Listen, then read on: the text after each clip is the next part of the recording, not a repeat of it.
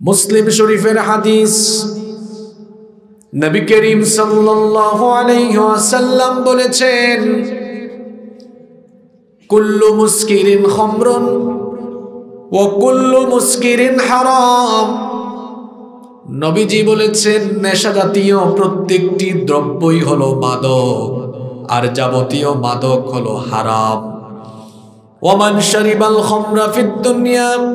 فمات وهو يدمنها لم يتب لم يشربها في الآخرة নবীজি বলেছেন এই মাদক হারাম জানা সত্ত্বেও যারা এই মাদক গ্রহণ করবে আর মাদকাসক্ত হয়ে নেশাগ্রস্ত অবস্থায় যারা মারা যাবে এই লোকগুলো কেয়ামতে পরকালে জান্নাতে তারা আর আল্লাহর দেওয়া পবিত্র শরাব গ্রহণের কোনো সুযোগ পাবে এমনকি এরা জান্নাতের গন্ধও পাবে না। শয়তান আমাদেরকে জাহান নামের পথে ধাবিত করার জন্য শয়তান যে কয়েকটা মূল মন্ত্র ব্যবহার করে আমাদেরকে ধোকা দেয়, তার মধ্যে অন্যতম হল মাদক আর জোয়া। এজন্য রব্বুল আলামিন কোরআনুল কারীমের পাঁচ নাম্বার সূরা سورة المائدة نبوي نمبر آيات بلچنيا أيها الذين آمنوا إنما الخمر والميسر والأنصاب والأزلام رجس من عمل الشيطان فاجتنبوه لعلكم تفلحون আল্লাহ তালা বলছেন হে বিশ্বাসীরা হে ইমানদারেরা ইন্নামাল খমরু ওয়াল মাইসিরু ওয়াল আনসাবু ওয়াল আজলামু নিশ্চয়ই মাদক মদ জুয়া ভাস্কর্য প্রতিমা এবং ভাগ্য নির্ণায়ক তীর রিৎসুম্মিন আমালিশ শৈতান। এগুলো হলো শয়তানের কারসাজি।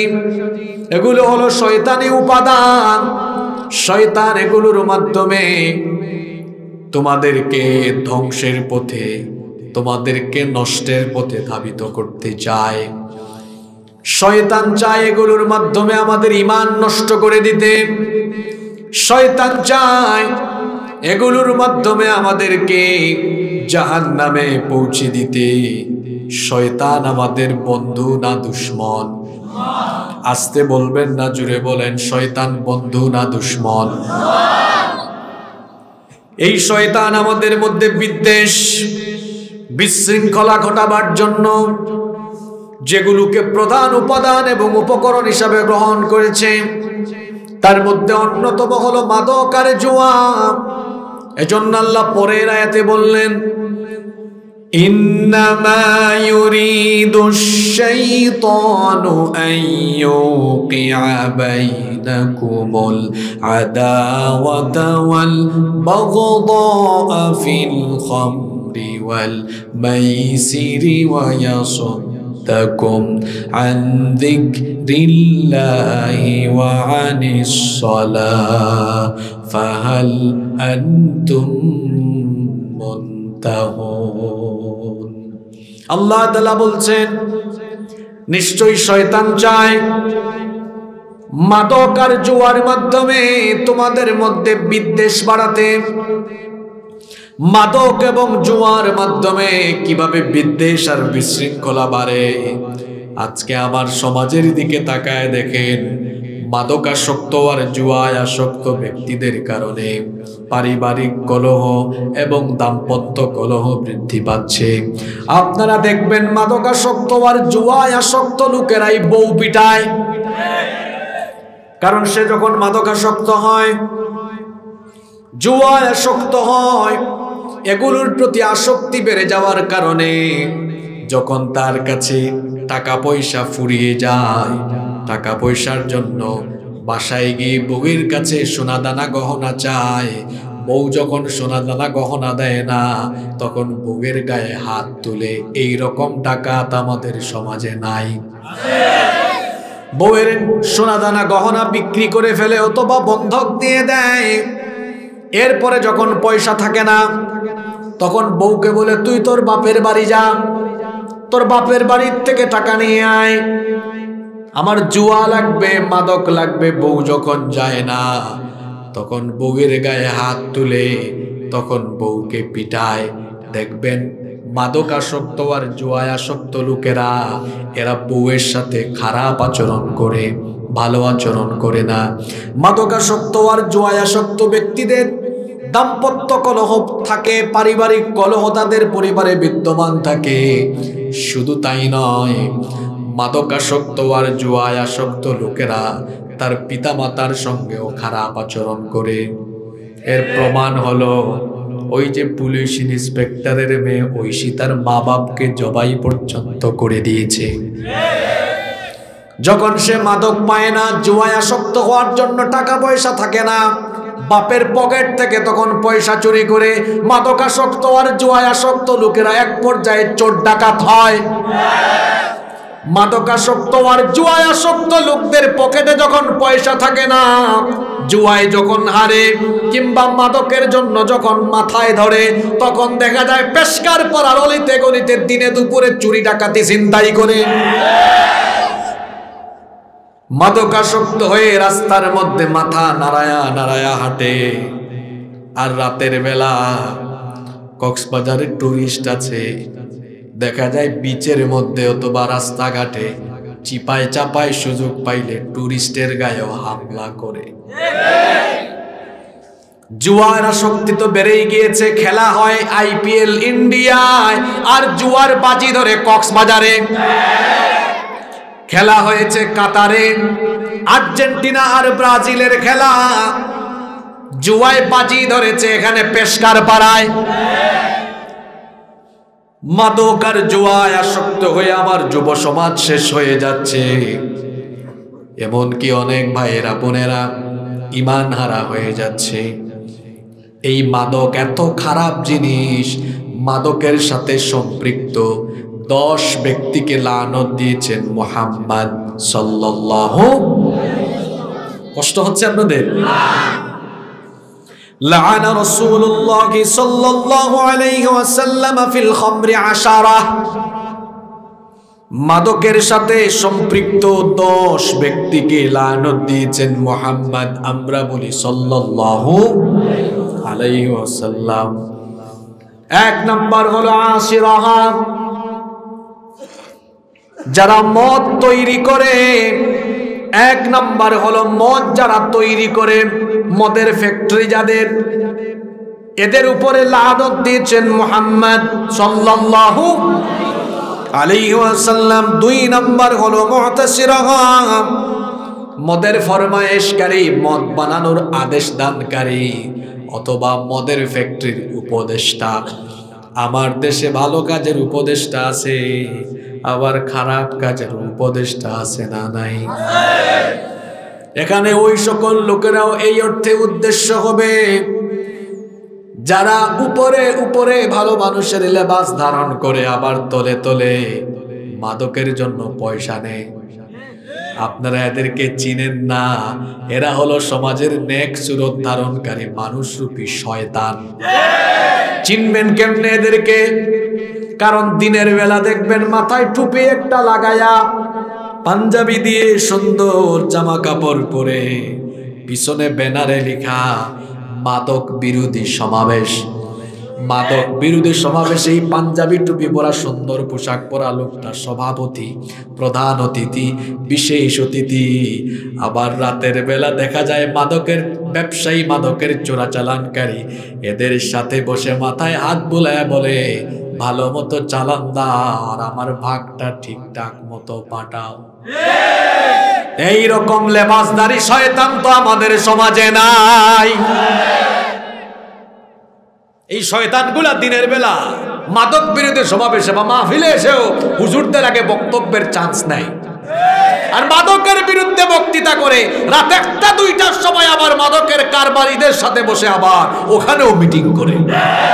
এই শয়তান এদিকেও আছে, ওইদিকেও আছে। এটা টাটকা মুনাফিক। কষ্ট হয়।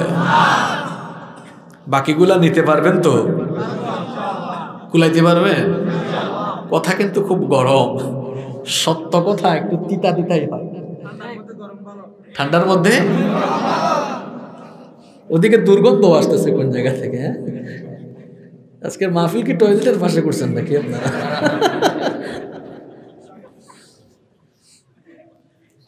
নাকি কোনো অঘটন ঘটাইছে কেউ পিছনে? কি বলেন, একটু লাগে না এরকম? অহরে এখানে তো আবার বিভিন্ন মিডিয়া ফেসবুকে লাইভ দেখাচ্ছে। যাই হোক, অসুবিধা নাই।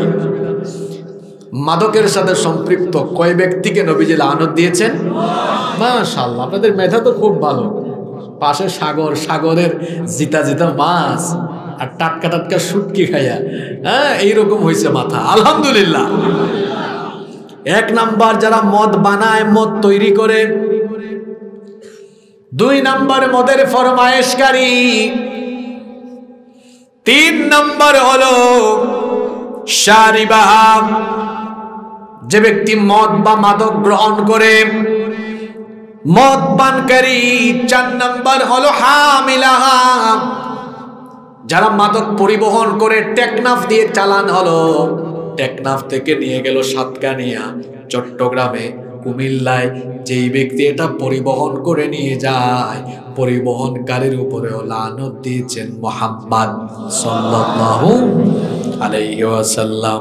পাঁচ নাম্বার হলো, ওয়াল মাহমুলাতু ইলাইহি যাদের জন্য এই মাদক পরিবহন করে নিয়ে যাওয়া হয়, তাদের উপরে লানত। ছয় নম্বরে হলো, ওয়াসাকিয়াহা যারা মাদক পরিবেশন করে হতে পারে সেটা চাকরি, মদের বারে, ক্যাসিনোতে, নাইট ক্লাবে, কিংবা যে কোনো রেস্টুরেন্টে আপনি চাকরি করেন, হোটেলে চাকরি করেন। সেখানে যদি দেশি বিদেশি মদ আপনার কাস্টমারকে, হোস্টকে যদি দেওয়া লাগে, যে ব্যক্তি পরিবেশন করে, সার্ভ করে, তার উপরেও লানত। সাত নম্বর হলো ওয়াবাইআহা। যে ব্যক্তি মদ বিক্রি করে মাদকের বিক্রেতা, তার উপরেও লানত দিয়েছেন মুহাম্মদ। সাল্লাল্লাহু আলাইহি ওয়াসাল্লাম, আট নম্বর হলো ওয়াকিল থামানিহা এই মাদকের মূল্য যারা ভোগ করে, আপনি মাদক বিক্রি করলেন, যে পয়সা পেলেন, এই পয়সা আপনি আপনার পরিবারের যারা খাবে, সবার উপরে লানত। নয় নম্বর হলো, ওয়াল মুশতারি লাহা, যে ব্যক্তি মদ ক্রয় করে। দশ নম্বর হলো, ওয়াল মুশতারাতু লাহু, যার জন্য এটা কিনা হয়। এই দশ প্রকার ব্যক্তি মাদকের সাথে সম্পৃক্ত। এই দশ জন ব্যক্তিকে লানত দিয়েছেন মোহাম্মদ সাল্লাল্লাহু আলাইহি ওয়াসাল্লাম। কক্সবাজারের বাবারা, ভাইয়েরা বলেন তো, আমরা কি আমাদের প্রিয় নবীজির লানত চাই নাকি সাফায়াত চাই? আসতে বলবেন না জুড়ে বলেন কি চাই? তো আমরা যদি আমাদের প্রিয় নবীজির সাফায়াত চাই, সুপারিশ চাই, এই মাদকের ধারে কাছে কি যাওয়া যাবে নাকি? এই জন্য আজকের মাহফিলে আমরা সিদ্ধান্ত নিলাম, মাদকের সাথে আমাদের কোনো সম্পর্ক মাদক আমরা নির্মূল করব না নিয়ন্ত্রণ করব। তা আমার দেশে তো নির্মূল অধিদপ্তর নাই। আছে কি? কি নাম দিয়েছে দেখছেন আপনারা? মাদক নিয়ন্ত্রণ মানে কি নিয়ন্ত্রিত মাত্রায় খাবে? কি জাতের নাম দিয়েছেন আপনারা? দায়িত্বশীল মহলকে বলব, এই নাম পরিবর্তন করুন। এটার নাম লিখুন, মাদক নির্মূল অধিদপ্তর। নিয়ন্ত্রণ কিসের আবার? নাকি তলে তলে নিয়ন্ত্রণ কইরা খাবেন? এটা নির্মূল হতে হবে। যে কথাগুলো বললাম, মাদকের কারণে পারিবারিক দাম্পত্য কলহ সামাজিক বিশৃঙ্খলা, খুন খারাপি, চুরি ডাকাতি, ছিনতাই ঘটে, কথাগুলো বাস্তব না অবাস্তব? তো সমাজের এই বিশৃঙ্খলা, দাম্পত্য কলহ, পারিবারিক কলহ, রাষ্ট্রীয় বিশৃঙ্খলা সন্ত্রাস নির্মূলের জন্য মাদককে একদম সমাজ থেকে রিমুভ করতে হবে, নিয়ন্ত্রণ করা যাবে না, নির্মূল করতে হবে। পারা যাবে? নাম্বার টু দুই নাম্বার। আর যুব সমাজের চরিত্র ধ্বংস, আর আমাদের ইমান ধ্বংসের দুই নাম্বার উপাদান সমাজে আমরা দেখছি।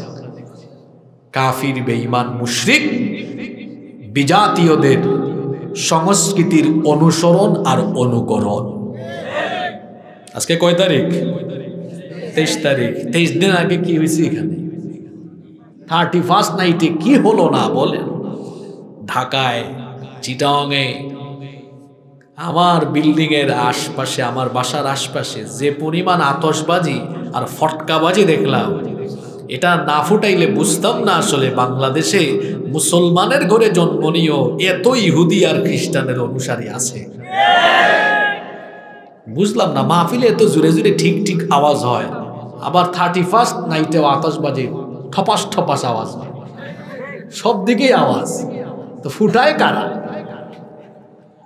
থার্টি ফার্স্ট নাইটে এইরকম বেহায়াপনায়, এইরকম বিজাতীয়দের অনুসরণ করা এটা কি একজন মুমিনের উচিত? উচিত। এই যে থার্টি ফার্স্ট নাইট এই রাতে ইউরোপ আমেরিকার বিভিন্ন অসভ্য লোকেরা, তারা নিজেদের নাম দেয় সভ্য। সভ্য মানুষকে কাপড় চোপড় কম পরে, সভ্য মানুষকে বউ থুইয়া বিশ তিরিশটা গার্লফ্রেন্ড নিয়ে ঘোরাঘুরি করে, সভ্য মানুষ কি মা বাপকে বৃদ্ধাশ্রমে রাখে? যেগুলোর কথা বললাম, এগুলো তাদের স্বভাবে নাই তো। জি? মাতাল হইয়া থাকে। ল্যাংটা হাটে। অর্ধনগ্ন হাটে।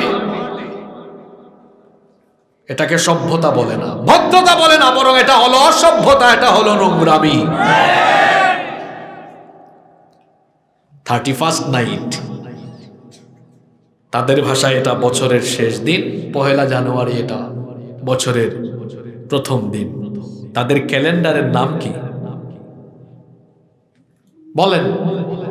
হ্যাঁ? বুঝে নাই? জানুয়ারি সাল না। এই ছেলে কি বলছে? ইংরেজি সাল না গো, ভাই, ইংরেজি সাল না। কমিটিও জানে না। লিখছে দু হাজার চব্বিশ ইং। না, ক্রিসমাসও না। পৃথিবীতে ইংরেজি ক্যালেন্ডার বলতে কোনো ক্যালেন্ডার নাই। এটা কমিটিকে রিকোয়েস্ট করব। আগামী বছর থেকে ইং লিখবেন না। এটা খ্রিস্টাব্দ, এটা খ্রিস্টানদের ক্যালেন্ডার। ইংরেজি কোনো ক্যালেন্ডার? দেখান তো আমাকে ইংরেজি ক্যালেন্ডার আছে, দেখান আপনি। আপনি অথেন্টিকভাবে প্রমাণ দেন। আপনি গুগলে গিয়ে দেখেন, এটাকে তারা খ্রিস্টিয়ান ক্যালেন্ডার বলে, এটা খ্রিস্টানদের ক্যালেন্ডার। এটা আবিষ্কার হয়েছে কেমনে? সেটার ইতিহাসও শোনেন। এখন তো সব কিছু আপনি গুগল শরীফে যান, সব তথ্য পাবেন। আছে না? এটা হলো খ্রিস্টাব্দ, এই শব্দটাকে ভাঙেন। হাসিয়েন না খালি, শোনেন, হাসানোর জন্য কথা বলতেছেন। আমি কি মস্করা করে কথা বলি? তা হাসেন কেন হয়তো হাসার টাইমে হাসবেন, কাদার টাইমে কাঁদবেন, আর বুঝার টাইমে বুঝবেন। সব কিছুই হবে, ইনশা খ্রিস্টাব্দ এটাকে ভাঙেন। এটাকে ভাঙলে হয় খ্রিস্ট যুগ অব্দ, সমান খ্রিস্টাব্দ। খ্রিস্ট কি আর অব্দ কি? অব্দ মানে এখন। এখন পর্যন্ত এখন অব্দ মানে আর খ্রিস্ট মানে কি? খ্রিস্টানরা খ্রিস্ট বলতে বোঝায় ঈসা আলাইহিসালামকে আমরা তাকে নবী বলি। আর খ্রিস্টানদের কয়েক গ্রুপ, এক গ্রুপ বলে যিশু খ্রিস্ট, তিনি হচ্ছেন, অর্থাৎ ঈসা আলাইসালাম তিনি হচ্ছেন আল্লাহ। আরেক গ্রুপ বলেন ইবনুল্লাহ, হয় আল্লাহ বা আল্লাহর ছেলে। নাউদুবিল্লাহ আর আমরা বলি তিনি হচ্ছেন রসুলুল। যদি বলেন, রসুলুল রসুল্লাহ আল্লাহ রসুল তিনি আল্লাহ নবী তিনি। আমরা তাকে আল্লাহর ছেলে মনে করি তো খ্রিস্টানরা ঈসা সালামের জন্মের বছরকে তাদের ক্যালেন্ডারের প্রথম বছর ধরল। কথা শুনতেছেন? আমার দেশে তো ওয়াজ অনেক সময় মানুষের মাথার উপর দিয়ে যায়। অনেক সময় ওয়াজ প্যান্ডেলের ভিতরে থাকে, বাড়িতে যায় না। আজকে ওয়াজ যেন মাথার উপর দিয়ে না গিয়ে ভিতরে যায়, আর এটা যেন প্যান্ডেলে না থেকে আপনাদের সাথে যায়। যাবে তো?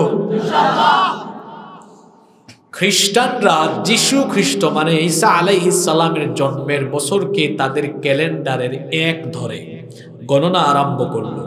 এই ক্যালেন্ডার আবিষ্কার হয়েছে যিশু খ্রিস্ট জন্মের ষোলোশো বৎসর পরে পনেরোশো বিরাশি খ্রিস্টাব্দে পোপ অষ্টম গ্রেগরি তৎকালীন রোমান জুলিয়ান ক্যালেন্ডারকে সংশোধন করে নতুন এই ক্যালেন্ডার আবিষ্কার করলেন। তারা এই ক্যালেন্ডারের নাম তারা দিলেন খ্রিস্টীয় ক্যালেন্ডার। খ্রিস্টাব্দ মানে হচ্ছে যিশু খ্রিস্ট জন্মের বছর থেকে অব্দ এখন পর্যন্ত দু হাজার চব্বিশ খ্রিস্টাব্দ। তার জন্মের বছরকে এক ধরে গণনা শুরু হয়েছে। আমরা বাংলায় লিখলে লিখি খ্রিস্টাব্দ, আর এটাকে ইংরেজিতে যখন লিখি তখন আমরা লিখি এ, ডি। এটা শর্ট ফর্ম। এটার মিনিং হলো আন্ন ডমিনি, যার অর্থ হলো the year of our lord. খ্রিস্টানদের অর্থ করেছে আমাদের প্রভু জন্মের বছর। নাউজুবিল্লাহ। এই ক্যালেন্ডারটা বানিয়েছে মুসলমানরা না খ্রিস্টানরা? এই ক্যালেন্ডার আবিষ্কারের সাথে খ্রিস্টানদের আকিদা বিশ্বাসের চেতনার সম্পর্ক আছে না নাই? তো আসতে বললেন কেন? এতক্ষণ তাহলে কি শুনাইলাম? পুঁথি পড়া শুনছেন আপনি? আছে না নাই?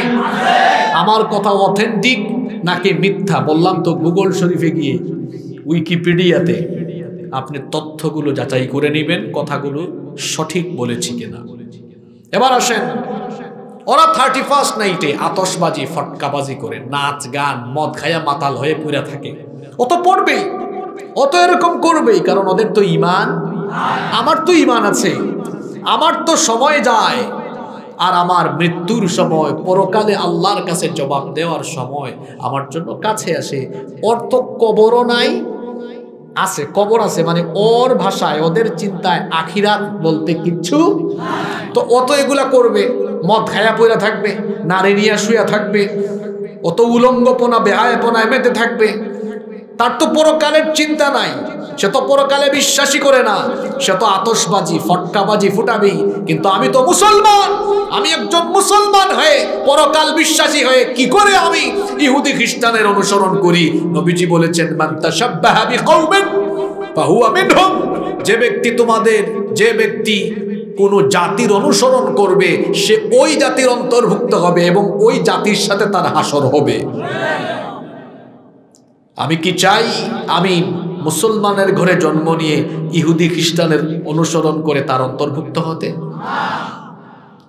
তাহলে সিদ্ধান্ত নিন, কক্সবাজারের স্থানীয় মানুষ আপনারা। এখানে যদি গোয়েন্দা সংস্থার ভাইরা, প্রশাসনের ভাইরা থাকেন, তাদেরকে অনুরোধ করছি। যদি কথাগুলো বুঝে থাকেন, তো সিদ্ধান্ত নিন কক্সবাজারের মানুষ আগামী বছর থেকে থার্টি ফার্স্ট নাইটে কক্সবাজারের সচেতন মুসলমানরা এখানে বেঁচে থাকতে কোনো অশ্লীলতা, বেহায়াপনা এখানে কক্সবাজারে করতে দেওয়া হবে না। এই সিদ্ধান্ত নিতে পারবেন আপনারা?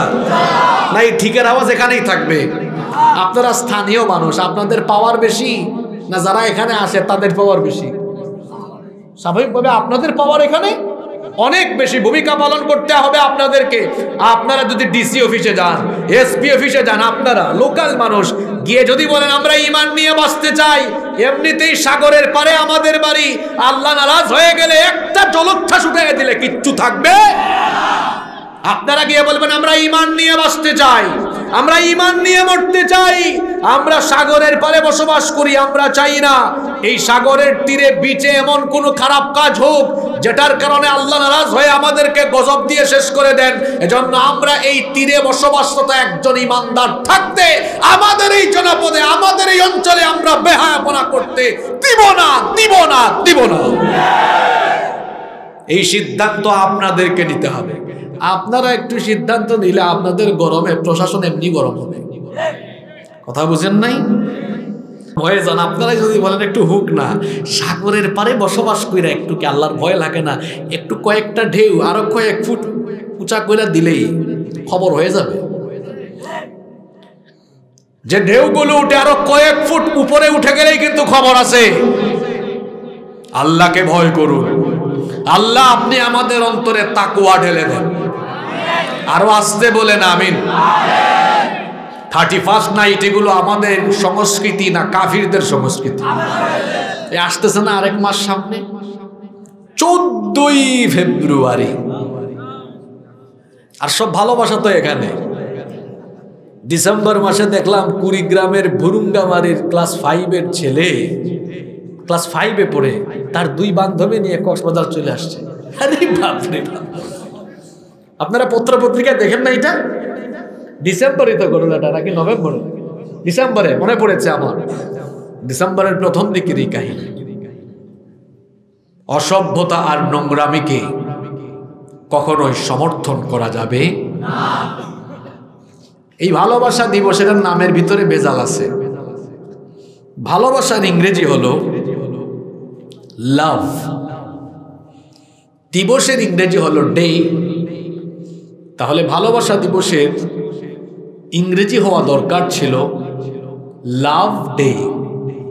কিন্তু লাভ ডে না হয়ে এটার নাম ভ্যালেন্টাইন ডে কেন?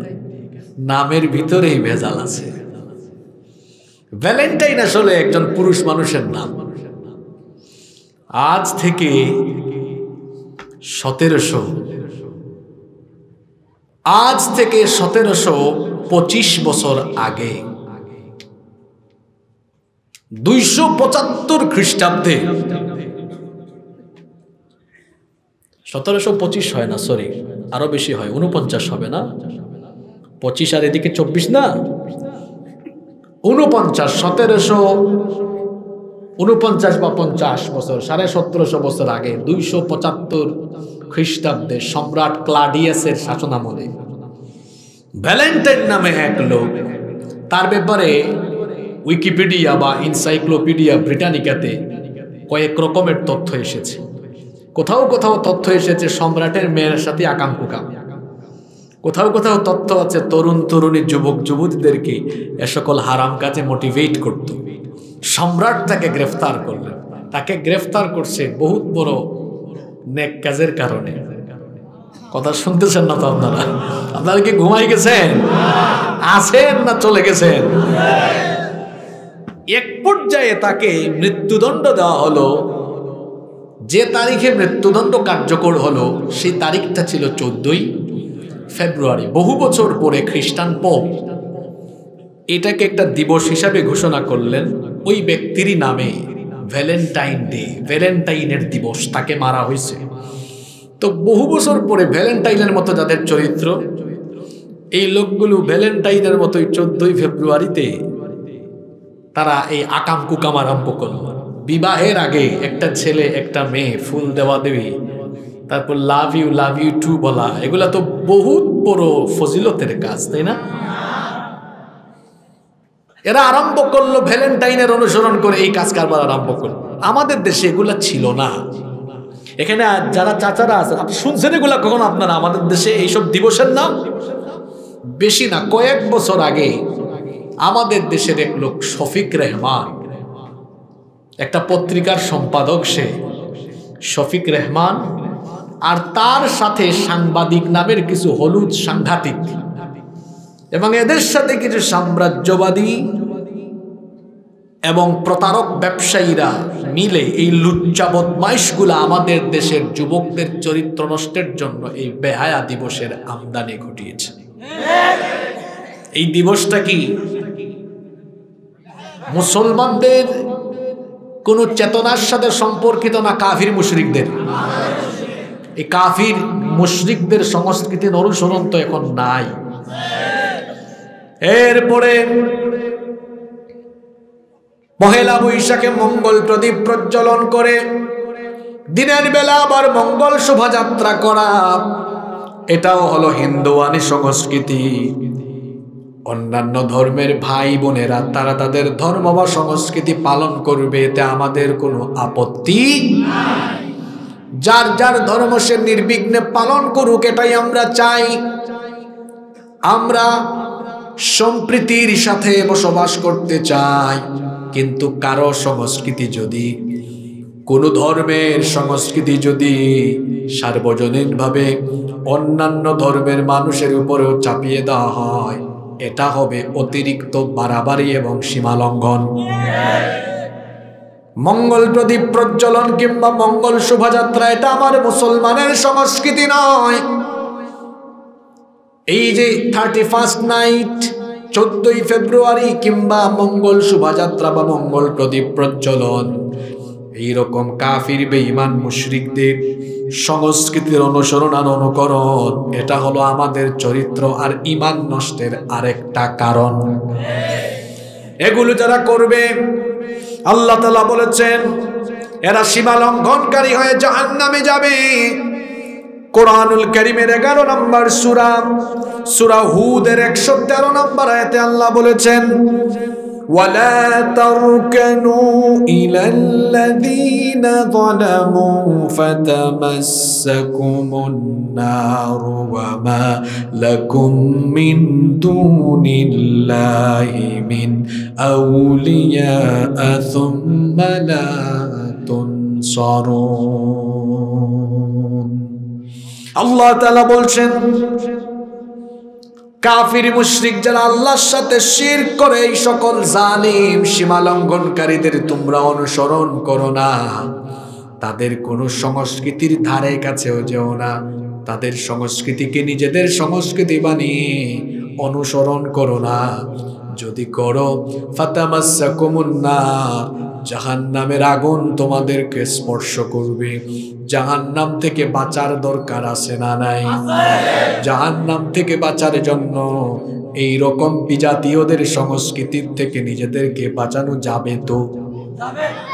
আওয়াজ তো খুব ছোট হইল। পারা যাবে? কারা কারা পারবেন না হাত তুলেন? আল্লাহর কত কুতুব দেখছেন এখানে? ঘুমাই ঘুমাই বাজছে আপনারা ঘুমাই গেছেন নাকি? নাকি জেগে আছেন? দেখি তো কেমন জেগে আছেন। বিল্লাহি তাকবীর। এখন আওয়াজ ভালো করে হয় নাই। নারাই তাকবীর। ঠিক আছে ঠিক আছে। শুনতেছেন তো ভালো করে? যুব সমাজ ধ্বংস এবং আমাদের ইমান ধ্বংসের এক নাম্বার কারণ বলেছিলাম, মাদকার জুয়া। দুই নাম্বার বললাম কাফির, মুশরিক, বিজাতীয়দের সংস্কৃতির অনুসরণ আর অনুকরণ। তিন নাম্বার, আকাশ সংস্কৃতির আগ্রাসন। আকাশ সংস্কৃতির আগ্রাসন। এখন আকাশ থেকে সংস্কৃতি ঘরে ঘরে ঢুকে গেছে। বলবেন, কেমনে? আপনার ঘরে যে এত অশ্লীলতা, বেহায়াপনা এত কিছু ঢুকলো, টেলিভিশনে এত কিছু দেখেন, এগুলো আকাশে স্থাপন করা স্যাটেলাইটের কারণেই টেলিভিশনের মাধ্যমে ঘরে বসে সব দেখা যায়। আকাশে স্থাপিত স্যাটেলাইটের কারণে বর্তমান পৃথিবীতে তেরো হাজারেরও বেশি টেলিভিশন চ্যানেল রয়েছে। এগুলোর কারণে এগুলোর কারণে অসভ্যতা, নোংরামি ঘরে ঘরে ঘরে ঘরে এখন পৌঁছে গেছে। এগুলো দেখে দেখে পুরুষরাও অপসংস্কৃতিতে মত্ত হচ্ছে, নারীরাও মত্ত হচ্ছে। দেখেন না, ছেলেরা এখন চুল কাটে, মেসি কাটে, নেইমার কাটে। মেসিকে জীবনে দেখছে সরাসরি? কথা বলেন না কেন? নেইমারকে দেখেছে? দেখছে কেমনে? আকাশ সংস্কৃতির মাধ্যমে। দেখেছে কোথায়? টেলিভিশনে, ইউটিউবে। দেখে দেখে ওই স্টাইলের চুল রেখে দিয়েছে। চুলের যে কি কাটিং এখন যুবকদের ডানেও নাই, বামেও নাই, পিছনেও নাই, আছে শুধু মাঝখানে। দেখলে মনে হয় পাখির বাসা বাঁধার জন্য এরকম চুলের কাটিং দিয়েছে। এই দেখেন, মাথা ঝুঁকানো শুরু হয়ে গেছে কয়েকজনের। কমন পড়ছে তো কথাগুলা। দেশি মুরগ আছে না? মাথার মধ্যে কি থাকে? আপনারা কি বলেন? আঞ্চলিক ভাষায় জুট, চুট না কি বলেন? জুটটা। কি বলেন? আমার মাখরাজ ঠিক আছে তো? জুটটা না? তা আমি এই চুলের কাটিং এর নাম দিয়েছি, জুটটা কাটিং ঠিক আছে না? জুটটা জুটটা কাটিং এটা। আবার মাঝে মাঝে দেখা যায়, কিছুদিন আগে আমি সেলুনে ঢুকছি। সেলুনের দরজা খুলে নাউজুবিল্লা পরে দরজা লাগায় চলে আসছে। এক নাপিত ভাই দরজা খুলে ডাক দেয়, ও হুজুর, কই যান? কইলাম, ভাই, বাহিরে লেখাও আছে, আমিও জানি এটা জেন্টস সেলুন। কিন্তু এখানে জেন্টসের পাশাপাশি যে আপনারা লেডিসদের চুল কাটা আরম্ভ করছেন, সাইনবোর্ড লাগাবেন না? আমি তো ভুল করে ঢুকে গিয়েছি। আমি তো জানতাম না এখানে পুরুষের পাশাপাশি নারীরও চুল কাটেন। কয়, হুজুর, নারী বইলেন কোথায় আমি কইলাম যে, যখন আমি দরজা খুললাম, দরজা খোলার সাথে দরজার একদম সুজাসুজি যে চেয়ার, সেই চেয়ারে দেখলাম এক নাপিত ভাই লম্বা চুল চিরনি দিয়ে আছড়াইতেছে। আমি ভাবলাম যে, আপুর যেহেতু চুল কাটতেছে, আমি হুজুর মানুষ ঢুকি কেমনে? কাম শেষ হোক এরপরে আসব না। কই, হুজুর, এখানে আপু পাইলেন কোথায়? ওইটা আসলে একটা ভাইয়া। বললাম, কি বলেন? কয়, হ, এটা একটা বাউল। গান গায়। গানের সময় একটু ঝাঁকুনি মারে, বাউল কাটিং চুল।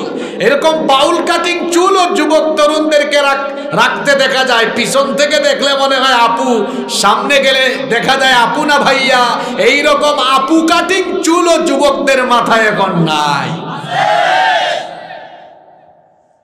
এগুলো টেলিভিশনে ইউটিউবে দেখে দেখে মেসি কাটিং নেইমার কাটিং গায়ক কাটিং নায়ক কাটিং আউল কাটিং বাউল কাটিং চুল রেখেছে। যুবক তরুণ ভাইদেরকে বলছি আমাদের আদর্শ আউল বাউল নায়ক গায়ক আর খেলোয়াড় নয়। আমাদের আদর্শ মুহাম্মদ সাল্লাল্লাহু মেয়েগুলার অবস্থা দেখছেন? কোথাকার কোন নায়িকা? চুলকে একদম ব্রাউন করে ফেলেছে কুত্তা কালার। আমি কি বেশি কড়া কথা বলে ফেলছে নাকি? মাইক কি আজকে বিচের দিকে দিয়েছেন নাকি? বিচের দিকে দিলে তো উপায় নাই। বলে থেকে কোন হুজুর আসছে রে? আজকে একদম সব বলে যাচ্ছে। আছে না নাকি ওই দিকেও? আপনারাও বুঝছেন যে হুজুর বলতে পারে, এই জন্য দেয় নাই। মাইকম্যানও খুব সাংঘাতিক। বুঝছে, আজকে উহার জায়গা মতো যাচ্ছে। কইতেছে, হুজুর, এই মাত্র দিয়ে আসছি। তো জায়গা মতো লাগাই দিয়ে আসছে। আপনারা ধরতে পারে আজকে, খবর আছে। কি বলেন, এগুলো আছে না নাই? আমি যে কথাগুলো বলছি, এগুলোর সাথে সমাজে মিল আছে তো? এগুলোর কারণে শেষ হচ্ছে আজকে আমাদের সমাজ। নাম্বার ফোর, চার নাম্বার, অশ্লীল গান, বাজনা, অশ্লীল নাটক, সিনেমা, এগুলো দিয়ে যুবক, যুবতী, তরুণ, তরুণী, আর আমাদের ঘরগুলো একদম শেষ। গান, বাজনা এগুলো আমাদের কাছে এখন সাধারণ ব্যাপার হয়ে গিয়েছে। এখনও হয়তো গিয়ে দেখেন সুগন্ধা বিচে, অথবা ওই দিকে যে আরও অনেকগুলো বীজ আছে, কতজন এখন গান গায়, গান বাজায়। আমরাও মাঝে মাঝে কানে হেডফোন লাগিয়ে গান শুনি। এই গান, বাজনা এগুলো হলো আল্লাহর তরফ থেকে হারাম করে দেওয়া, এগুলো চূড়ান্ত হারাম। কিন্তু আপনি হর হামেশা গান শুনছেন, আর গান বাজনা এখন আমাদের কাছে এমন সাধারণ বিষয় হয়েছে, এই গান বাজনা ছাড়া যেন আমাদের বিয়ে শাদী এখন শুরুই হয় না। দেখা যায়, বিয়ে বাড়িতে বিবাহের অনুষ্ঠান হচ্ছে হুজুর সাহেবকে আনা হলো, হুজুর আপনি বিয়েটা পড়ান, বিয়ের খুতবা দেন। দোয়া করেন, কিন্তু যেই হুজুর বিয়ের খুতবা দিচ্ছেন, বিয়েতে দোয়া করছেন। আগের রাতে কিন্তু ওই বিয়ে বাড়িতে গায়ে হলুদের নামে অসভ্যতা, নোংরামি আর গান বাজনা হয়েছে। গান বাজনা হারাম। আর বিয়ে শাদী হলো ইবাদত। বিয়ে হলো আরও জোরে বলেন, বিয়ে হলো, গান বাজনা হলো ইবাদত। আরও জোরে আরও জোরে। তো বিয়ের মতো একটা ইবাদত আপনি শুরু করলেন গান বাজনা দিয়ে, আল্লাহর কসম, যেই ছেলে বা যেই মেয়েটার বিয়েতে গান বাজনা দিয়ে বিয়ের মতো পবিত্র কাজ এই গান বাজনা দিয়ে শুরু হয়, ওই ছেলে মেয়েদের দাম্পত্য জীবনের ফলে যে সন্তানগুলো ছেলে মেয়েগুলো জন্ম নেবে, এগুলোও ঝাঁকা নাকা ঝাঁকা নাকা মার্কা ছেলে মেয়ে হবে। এদের ঘরে ছেলে মেয়ে হবে আউল বাউল। ফাউল! এদের ঘরের ছেলে মেয়েরা হবে মাদকাসক্ত। ইয়াবাখুর, গাজাখুর, চরিত্রহীন, লম্পট। তার বিয়ে সাথে তো ভালো না। এখানে যারা বিয়ে বিয়ে শাদী করো নাই, কি বিয়েতে গান বাজনা করবা তো? আরও জোরে? সুন্নতি তরিকায় বিয়ে করবে, সিদ্ধান্ত নাও। কোনো গান বাজনা হবে না। নারী পুরুষের ফ্রি মিক্সিং অবাধ মেলামেশা দিয়ে আপনি আপনার বিবাহের পবিত্র আসরটা নষ্ট করবেন না। বরং ওলামা মাসায়েকদেরকে দাওয়াত করে, তাদেরকে বলেন, হুজুর, দোয়া করে দেন যেন আমাদের দাম্পত্য জীবনটা বরকতময় হয়। আলেমুল আমাদেরকে দাওয়াত করে তাদের দুয়ার মাধ্যমে। আপনি যদি বিবাহের মতো পবিত্র জিনিস সম্পন্ন করেন, দেখবেন ঘরে যেগুলো আসবে অসভ্য লম্পট হবে না। এই দম্পতির ঘরে যে ছেলে মেয়ে হবে, এগুলো আল্লাহওয়ালা আর চরিত্রবান হবে। পারবেন তো? নবীজি বলেছেন আল গিনাহু ইয়ামবুতুন নিফাকু ফিল কলবি, কামা ইয়ামবুতুল পানি সেচ দিলে যেমন জমিনের ফসল বেড়ে যায়, উর্বরতা বেড়ে যায়, ঠিক তেমনি ভাবে গান বাজনা শুনলে পরে মানুষের ইমানের মধ্যে নিফাকি বেড়ে যায়, অন্তর নাপাক হয়ে যায়, অপবিত্র হয়ে যায়। যারা নিয়মিত গান বাজনা শুনে এদের অন্তর খারাপ হয়ে যায়। অন্তরে কালিমা লেগে যায়, অন্তরটা অপবিত্র হয়ে যায়। এই কল্পটাকে যদি আপনি পবিত্র রাখতে চান, গান বাজনার বিপরীতে, কোরআনের তেলাওয়াত শুনেন। কোরআনের তেলাওয়াত শুনেন, তাফসির শুনেন নাশিদ শুনেন, দেখবেন কলিজা ঠান্ডা হয়ে যাবে, অন্তরটা পবিত্র থাকবে। গান বাজনার পাশাপাশি অশ্লীল নাটক এবং সিনেমা, এগুলোর থেকেও আপনার চক্ষুকে বাঁচিয়ে রাখবেন। এই চক্ষু দিয়ে হারাম জিনিস দেখা হলো চোখের জিনা, হারাম কিছু বলা হলো মুখের জিনা, হারাম কিছু শোনা হলো কানের জিনা। যদি আমরা আমাদের চক্ষুটাকে অশ্লীল নাটক সিনেমা থেকে হেফাজত করতে পারি, দেখবেন গুনাহের দরজাটাই একেবারে বন্ধ হয়ে যাবে। কারণ চক্ষুকে বলা হয় মনের আয়না। এটা দিয়ে দেখে, এরপরে অন্তর দিয়ে কল্পনা করে, তারপরে অ্যাকশনে যায়। এজন্য কোনো কোনো গবেষক বলেছেন, চক্ষু হলো অশ্লীলতার দরজা। অশ্লীলতা এটা সেভ করতে পারলেই একজন মানুষ পবিত্র থাকতে পারবে। আমরা আমাদের চক্ষুকে হেফাজত করতে পারব তো? চক্ষু হেফাজতের জন্য দুইটা আমল বলে দিই কয়টা আমল? রাস্তাঘাটে বের হয়েছেন। আর এটা তো এমন জায়গা আপনাদের ঘর বাড়ি এমন জায়গায়। ঘুমের থেকে উঠে চক্ষুটা বাঁচানো বড় বিপদ। এই এলাকায় যারা বসবাস করে, চোখের হেফাজত করা তাদের জন্য সবচাইতে চ্যালেঞ্জিং ব্যাপার। ঘুমের থেকে উঠে দেখবেই, ঘুমের থেকে উঠে দেখবেই নগ্ন, অর্ধনগ্ন মহিলাদের ঘোরাফেরা। কেমনে আপনি চক্ষুটাকে হেফাজত করবেন? অন্তরের মধ্যে এই ভয় নিয়ে আসবেন, আমার চোখের মালিক আমি নই, আমার চোখের মালিক যিনি, তিনি খাইনাতাল আয়ুনি ওয়া মা তুখফিস সুদূর আমার চোখের খেয়ানতের খবরও জানবেন কে? সুতরাং তিনি আমাকে আদেশ দিয়েছেন, চক্ষুটাকে যেন আমি নিচের দিকে নামাই। আমি সেই আল্লাহর হুকুম মেনে চক্ষুটাকে নিচের দিকে, অর্থাৎ চক্ষুটাকে হেফাজত করব, সংযত রাখব, পারবেন তো ইনশা দুই নম্বর আমল হলো মোবাইল হাতে নিলেন, অথবা রাস্তাঘাটে বিলবোর্ড সাইনবোর্ড মোবাইল হাতে নিয়েছেন। একটা ওয়াজ শুনবেন, দেখবেন এখন একটা ওয়াজ শুনলেও ভালো ভিডিওর নিচে চলে আসে আরও তিনটা খারাপ ভিডিও। কেমনে চক্ষু বাঁচাবেন? আপনি তখন অন্তরে এই অনুভূতি নিয়ে আসবেন, আমি যদি এখন খারাপ ভিডিওটা দেখি, আশেপাশের কেউ জানবে না, দেখবে না। কিন্তু আমার সকল কর্মকাণ্ড যিনি দেখছেন, তিনি কে?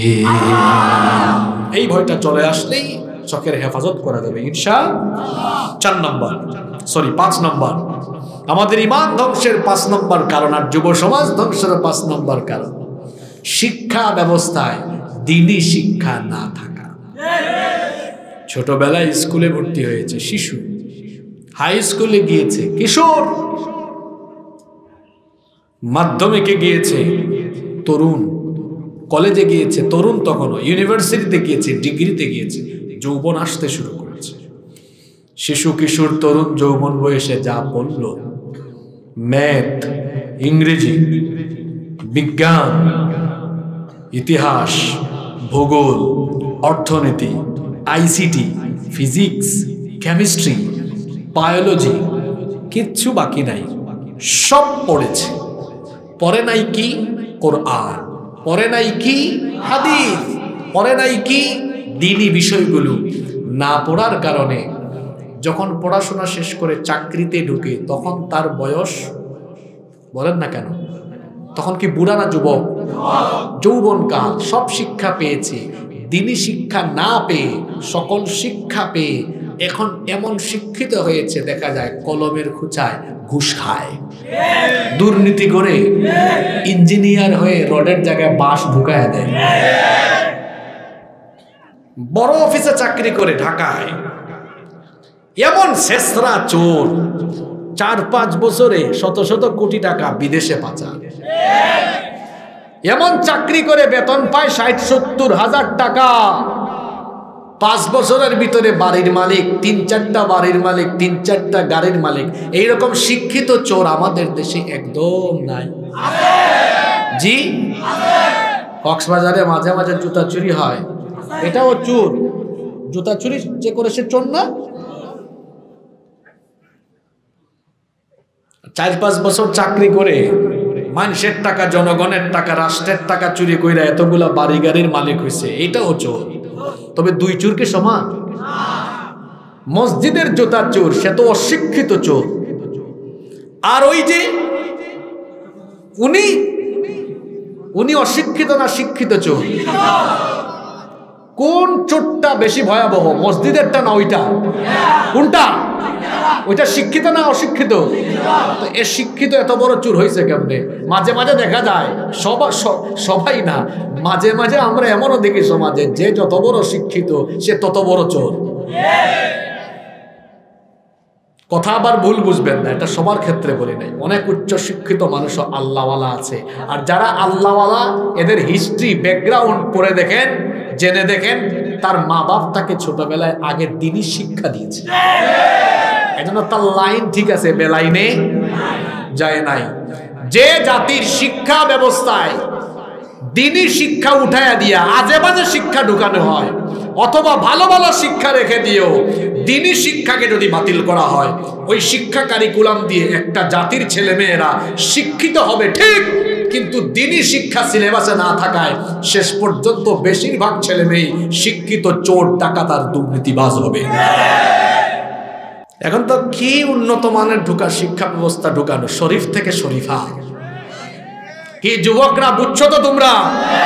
শরীফ থেকে? বাবা, এখন শরীফ আর শরীফা খুশি আপা, এগুলা দিয়া বই একেবারে ভরা। হুম? তিনি ছেলে, কিন্তু মনে মনে ভাবেন তিনি একজন মেয়ে। মনে মনে ভাবেন? এরপরে তিনি চিকিৎসার মাধ্যমে বা অপারেশনের মাধ্যমে তার জেন্ডার লিঙ্গকে পরিবর্তন করলেন বা প্রতিস্থাপন করলেন। ট্রান্সজেন্ডার লিঙ্গ পরিবর্তন করা। আল্লাহ যেটা দিয়েছেন সেটাকে পরিবর্তন করা যাবে? কথা বলেন না কেন? আমি আসার সময় ইউটিউবে এক ভিডিও দেখলাম। ট্রান্স সুন্দরী। ট্রান্স সুন্দরী। সেখানে বলা হচ্ছে তিনি আগে পুরুষ ছিলেন। কিন্তু তিনি নিজেকে নারী নারী ভাবেন বলে তিনি ট্রান্সজেন্ডারের মাধ্যমে নারী হয়েছেন। কি হয়েছেন? তাহলে সে ছিল কি? জোরে বলেন না কেন? আল্লাহ বানিয়েছেন কি করে? সে হয়েছে কি? হওয়ার পরে সে এখন বিয়ে করবে ছেলেকে না মেয়েকে? তো সে যে বিয়ে করল ছেলেকে, এখন আগে কে, আগে সে মেয়ে ছিল না ছেলে ছিল? তো ছেলে হয়ে বিয়ে করল কাকে? এটাকে বলে সমকামিতা। সমলিঙ্গের প্রতি আকর্ষণ বা সমলিঙ্গের প্রতি যৌনতা, এটাকে বলে কি? সমকামিতা। এই ট্রান্সজেন্ডারের মাধ্যমে সমকামিতা ছড়ায়। ট্রান্সজেন্ডারের মাধ্যমে সমাজ সভ্যতা ধ্বংস হয়। আমাদের সমাজ সভ্যতাকে ধ্বংসের জন্য, গোটা সমাজকে বিষাক্ত বানানোর জন্য এদেশে ইহুদি খ্রিস্টান আর কাফির মুশরিকদের কিছু লোকেরা ট্রান্সজেন্ডারের মতো ভয়াবহ বিষয়কে শিক্ষা কারিকুলামে ঢুকিয়ে দিয়ে আমাদের ইমান আকিদা ধ্বংস করার জন্য অপচেষ্টা করছে। নারায়ণ তকবীর আর কোরআনের আলো রাউসুল্লাহ চন্দন শরীফ থেকে শরীফা শরীফ থেকে শরীফা আমি তার বিরুদ্ধে লড়াই হবে একসাথে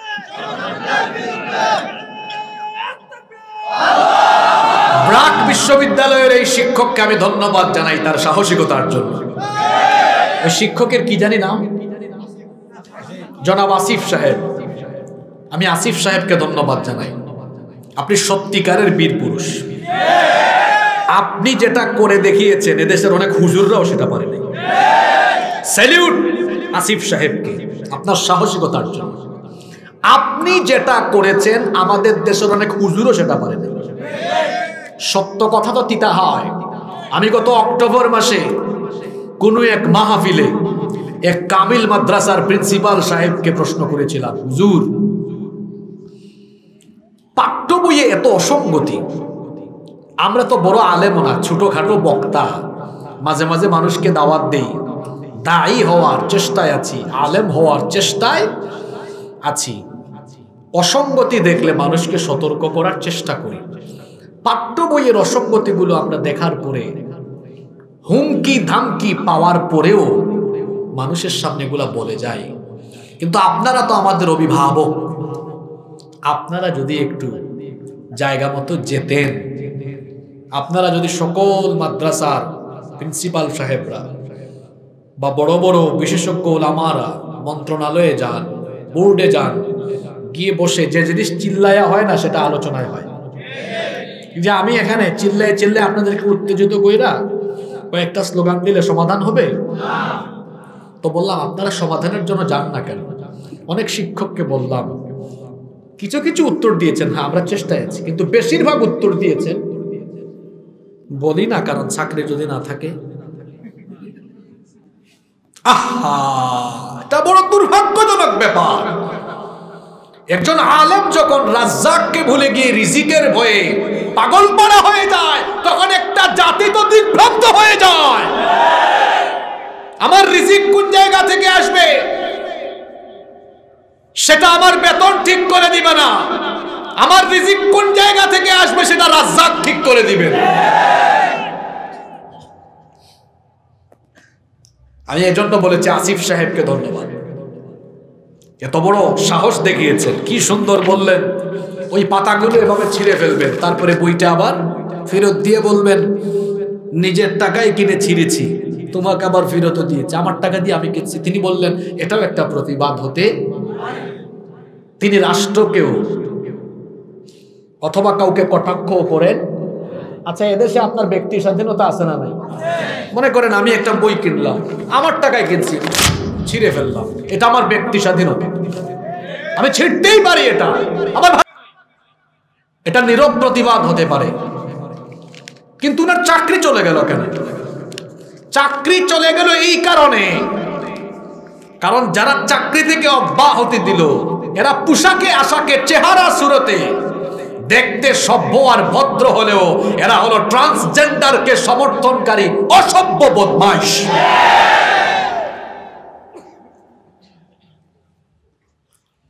কি ভয়াবহ পরিস্থিতি বিরাজমান। সচেতন যদি না হন, কোমলমতি ছেলে মেয়েদের ভবিষ্যৎ হবে সর্বনাশ। শরীফ থেকে শরীফা। আর ক্লাস সিক্স সেভেনে যৌনতা ঢুকানো, এগুলো তো সভ্য সমাজে বলাও যায়। আপনারা নিজেরা ওই বইগুলো পড়ে নিন। আমি কি ভুল বলেছি? মাঝখানে দুই তিন মাস আগে এক মহিলার বক্তব্য ভাইরাল হয়েছে। শোনান নাই আপনারা, ওই মহিলা কি বলেছে? যেগুলো আমরা আমাদের মেয়েদেরকে ঘরে শেখাতে পারব, ওগুলো আপনারা স্কুলে শেখান কেন? আপনাদেরকে কি দায়িত্ব আমরা দিয়েছি? টিভিতে দেখবেন, প্রতিদিন টিভিতে দেখবেন, বিশেষজ্ঞ, বুদ্ধিজীবী, চতুর্দিকে চুল আছে মাঝখানে, দাড়ি নাই, কি আছে? বিশেষজ্ঞ। এরা আসলে বিশেষজ্ঞ নাকি বিশেষ অজ্ঞ আমি জানি না। কারণ এদেরকে আমি বিশেষজ্ঞই বলি, এত অজ্ঞ। পড়তে পড়তে, গবেষণা করতে করতে পাইছে, তার নাকি বাপ দাদার আগে যারা ছিল, তার চোদ্দ গোষ্ঠী নাকি বান্দর ছিল। বান্দরের ঘরের বান্দর তোর বাপ দাদা যদি বান্দর হয় তুই মানুষের সমাজে থাকস কেন রে?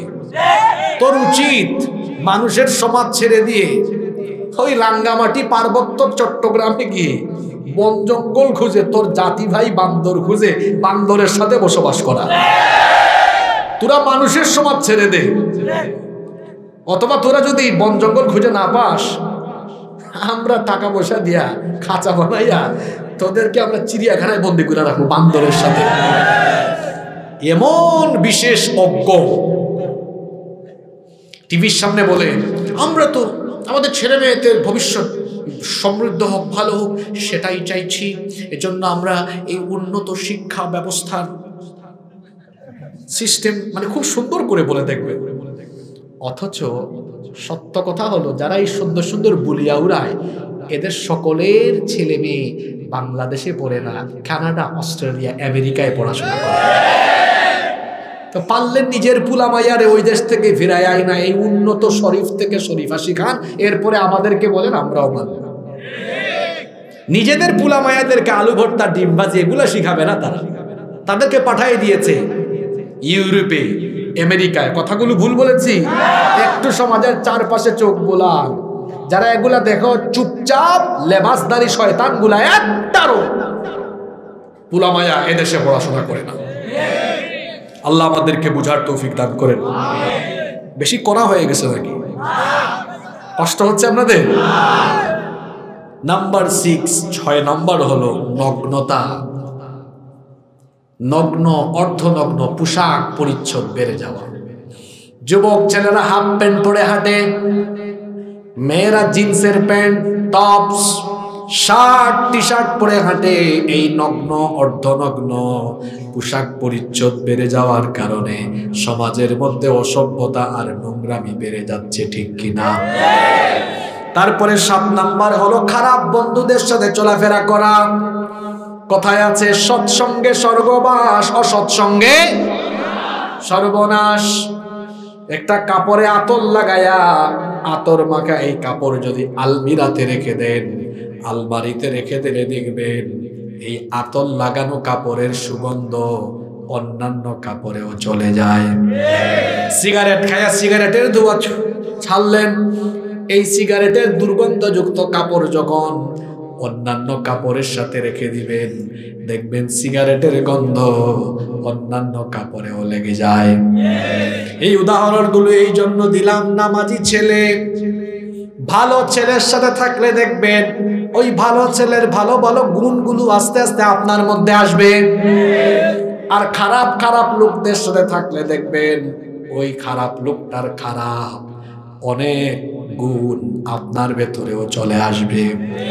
এজন্য ভালো থাকতে হলে ভালো সঙ্গে নির্বাচন করুন। আট নাম্বার, জিনা বেড়ে যাওয়া, বিবাহ বহির্ভূত, হারাম রিলেশন এখন বাড়ছে না, কমছে। এই জিনা বিচার বন্ধ করে যদি বিয়েটাকে সহজ করে দেওয়া যায়, আমার সমাজের অসভ্যতা আর নোংরামি কমে যাবে, ইনশা নয় নম্বর হলো, এই মোবাইল আর ইন্টারনেট তথ্য প্রযুক্তির অপব্যবহার এখন ইমান হারানোর জন্য এই মোবাইল যথেষ্ট। এই মোবাইলের অপব্যবহার ইন্টারনেটের অপব্যবহার থেকে আমরা যদি নিজেকে বাঁচাতে না পারি ইমান আমরা ঠিক রাখতে পারব? দশ এবং সর্বশেষ যে বিষয়টি বলতে চাই, অসৎ আর অযোগ্য নেতৃত্বের অনুসরণের কারণেও কিন্তু আমার যুব সমাজের চরিত্র ধ্বংস হয়ে যায়। যেই বয়সে যুবকদের হাতে বই, খাতা, কলম, শোভা পায়, এই বয়সে কিছু লোকেরা তাদের ক্ষমতার জন্য, স্বার্থের জন্য যুবকদের হাতে লাঠি সুটা ইয়াবা, গাজা ফেন্সিডিল লাঠি সুটার একে ফোরটি সেভেন তুলে দেয়। যুবকদেরকে দিয়ে গুন্ডামি মাস্তানি করায়। সামনে পিছনে মোটর সাইকেল শোভাযাত্রা করে যুবকদেরকে দিয়া চামচামি করায়। ও আমার যুবক ভাইয়েরা, আপনার এই যৌবনকাল কোনো বেইমান নেতা নামক খেতার চামচামি করার জন্য আল্লাহ দেন নাই। এই যৌবন দেওয়া হয়েছে আল্লাহর দিনের পথে এই যৌবনকে বিনিয়োগ করবার জন্য। এই যৌবনকে বিপথে নষ্ট করবেন না, ইবাদতে কাটান। আজান হয়েছে, নামাজে যান। ফজর হলে ঘুমাবেন না, নামাজে চলে যান। পাঁচ ওয়াক্ত আজান হলে নামাজে যান। নবীজি বলেছেন, সাত শ্রেণির মানুষকে আল্লাহ তালা কেয়ামতের দিন আরশের ছায়ার নিচে জায়গা দিবেন। এর মধ্যে এক শ্রেণির মানুষ হলো তারা।